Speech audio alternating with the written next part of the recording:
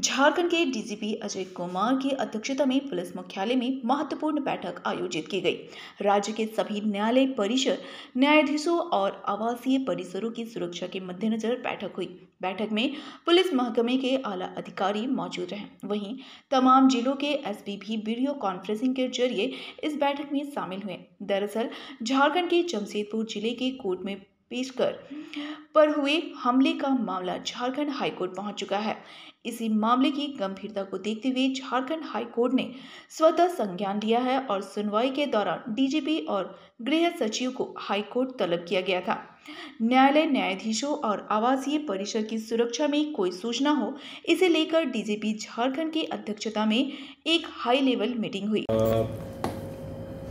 विगत दिनों में जमशेदपुर न्यायालय परिसर में जो घटना घटित हुई थी उसके पश्चात माननीय उच्च न्यायालय झारखंड के द्वारा भी इस घटना को लेके कतिपय निर्देश दिए गए हैं। इसके अतिरिक्त पूर्व में भी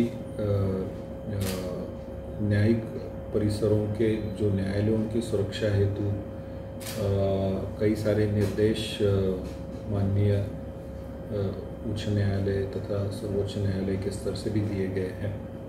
उन सभी निर्देशों के अनुपालन हेतु पुलिस मुख्यालय के स्तर से लगातार पूर्व में रिव्यू मीटिंग्स की जाती रही है।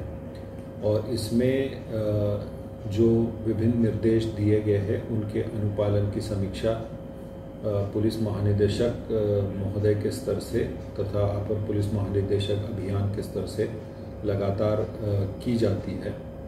न्यायिक, न्यायालय परोस, परिसरों की सुरक्षा हेतु कुछ क्राइटेरियाज पूर्व में पुलिस मुख्यालय के द्वारा भी सर्कुलेट किए गए हैं, जिसमें कि उन परिसरों में जो उपलब्ध सुरक्षा हेतु जो बलों की तैनाती की गई है उसकी मॉनिटरिंग सुपरविजन के लिए जो सीनियर ऑफिसर्स की तैनाती की गई है। ब्यूरो रिपोर्ट, सबरंग समाचार।